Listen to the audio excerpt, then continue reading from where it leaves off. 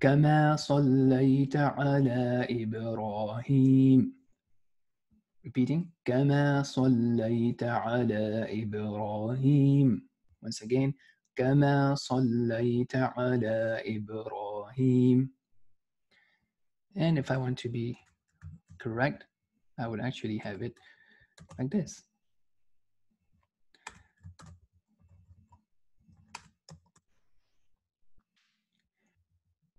وعلى آل إبراهيم وعلى آل إبراهيم. Once again. وعلى آل إبراهيم. And this. إنك حميد مجيد. Once again. إنك حميد مجيد.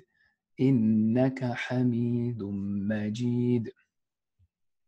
So here what we're saying, remember we said, oh Allah, send your prayers upon Prophet Muhammad and his family. So we're saying, as you send prayers upon Ibrahim, right? So how you, you know, uh, raise the mention and the impact and so on and so forth. Ibrahim, alayhi salam, the Prophet Ibrahim and his family do the similarly for Prophet Muhammad and his family.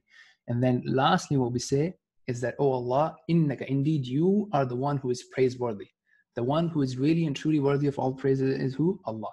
And you are the one who is most glorious. So we are uh, praising Allah. So it's it's one of the uh, important things to do whenever you're making you're asking Allah for something. In the beginning or in the end, you would say that usually it would have something about Allah that that we use to affirm the praise and the beautiful qualities and names and attributes of Allah, and it helps us to elevate our prayers and also helps us, you know, uh, build a better relationship with Allah by knowing and mentioning who is Allah. Okay.